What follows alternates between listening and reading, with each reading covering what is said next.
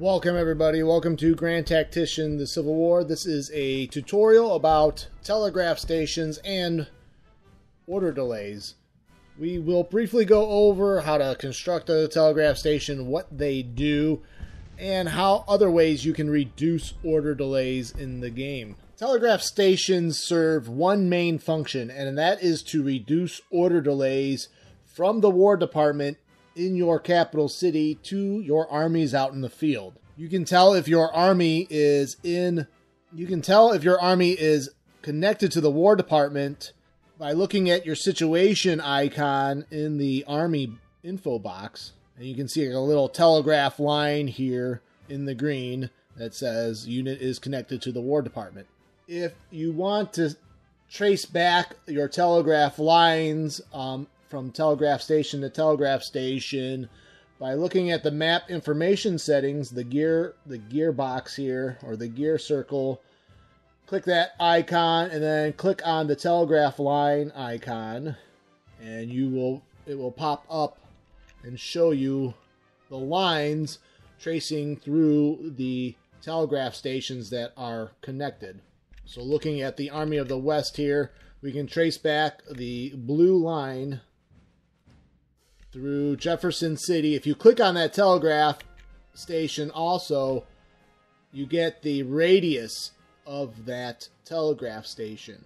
You can see that it goes through St. Louis. Now they have to be within range. So, we so starting back in Washington D.C.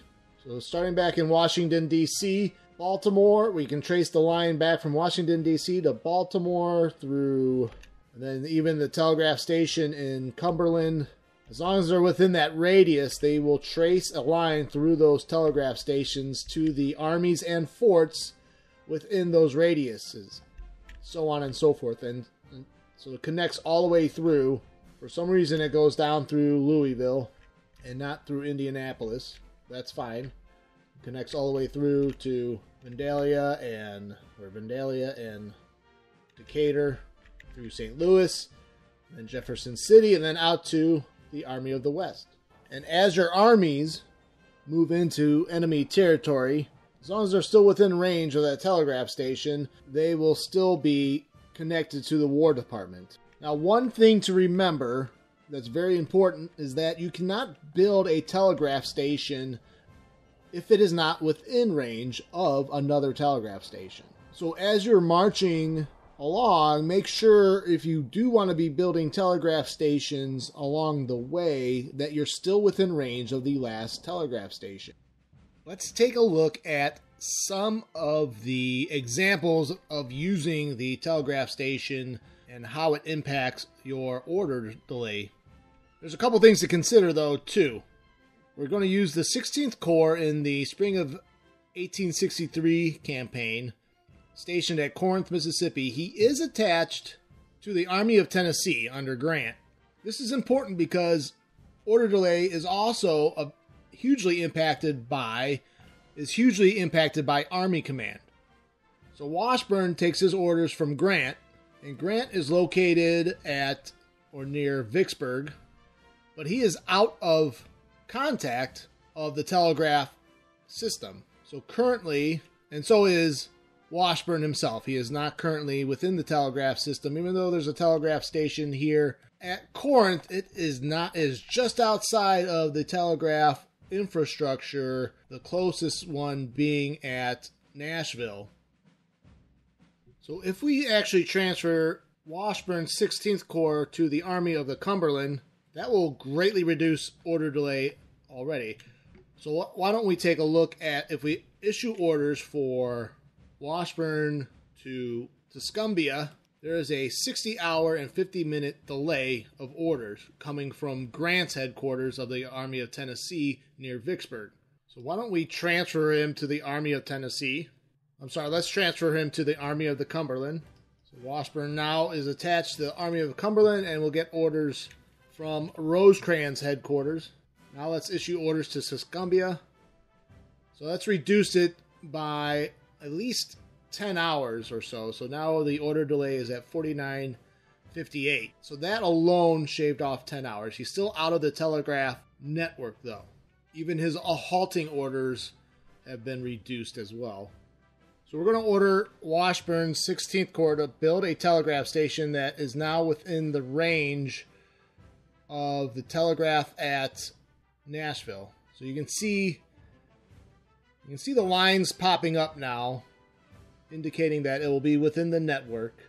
And constructing the telegraph, just like depots and forts, it will be dark red if you cannot if the land around it is not flat enough or there's other buildings in the way.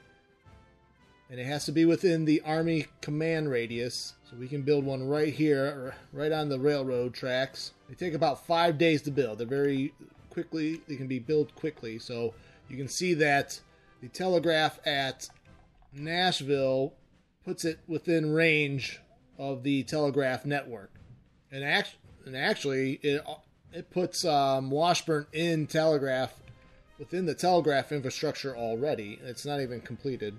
So that puts Washburn in the Telegraph network, and they're still working on the Telegraph station, so it's not 100% complete. So marching orders now down to 35 hours and 51 minutes. So he is now within that Telegraph network. Let's see what happens when the Telegraph station is fully built. Telegraph station at Iuka is now complete. Let's see if that makes um, even more of an impact on order delay. Uh, slightly, we're at 3151. So, but that's still by half. So, taking orders from Grant and Vicksburg out of the telegraph network took about 60 hours. Now, receiving orders from Rosecrans at Nashville, Tennessee is taking within the network takes about 31 hours. Out of the network, it was uh, over 40 hours. So there is a significant reduction in order delay there. If we move Rosecrans headquarters towards 16th Corps, they should receive a, even more of a benefit. Yeah, so Rosecrans about halfway now to Washburn's Corps, and the order delay is down to 1639. So just remember, telegraph stations will reduce order delay significantly, but telegraphs alone will not reduce that. You have to be mindful of the your telegraph network. Also, the command army command structure is hugely impactful. So all those combinations of things and readiness will also greatly impact army order delays. So we have assigned new brigades to Washburn's command to get his that will reduce readiness as they wait for those brigades to form and arrive at their command. So we've reduced readiness to yellow. Order delay is at 15 hours. So actually, because I believe Rosecrans command is impacting the 16th Corps even more. Let's see as these brigades form up if there's any change in order delay. So with yellow readiness, we moved Washburn up slightly. It's a 12 hour order delay to Tuscumbia. Let's see if it gets even better as his brigades form up and his readiness goes into the green.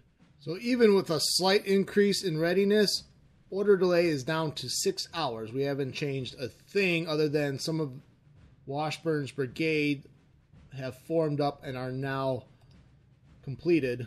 The Sturgis, Rowley, Morrell, there's three other brigades that are incomplete or incomplete. All right, so Wash- Washburn is now in green readiness. All his brigades are formed. New orders are sent. It's now order delays down to three hours and 45 minutes. So you can see the impact of several different factors, including telegraph stations, how that can impact order delays greatly.